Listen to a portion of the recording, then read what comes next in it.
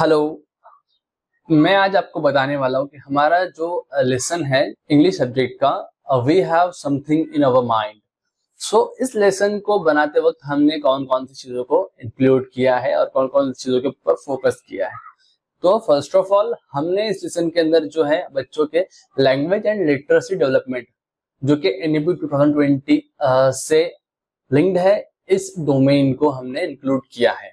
Objectives of the lesson इस lesson के objectives क्या होने वाले कि बच्चों को कुछ रिडल्स दी गई हैं। तो इन रिडल्स के बेसिस पे बच्चों को शेप्स और अलग अलग कलर्स का जो है इंफॉर्मेशन देना है। उनको अलग अलग शेप्स और कलर रिमेम्बर करवाने हैं। इसी के साथ साथ में रिडल सॉल्विंग पजल सॉल्विंग बच्चों की स्किल को हमें डेवलप करना है। तो इन ऑब्जेक्टिव्स को डिलीवर करने के लिए, इन आउटकम्स को डिलीवर करने के लिए हमने अलग अलग और मल्टीपल काइंड की जो है एक्टिविटीज़ कंडक्ट की है। इंट्रोड्यूस की है ताकि बच्चों को जो है, बच्चे सेल्फ लर्निंग कर सके और ये जो एक्टिविटीज़ हैं सारी के सारी और लर्नर सेंटर्ड एक्टिविटीज़ है जिसमें बच्चों का इन्वॉल्वमेंट होता है, जिससे कि लर्निंग इजी और सिंपल होती है। आप भी आपके स्टूडेंट के हाथ में ये एक्टिविटीज़ कंडक्ट कीजिए। It will help you a lot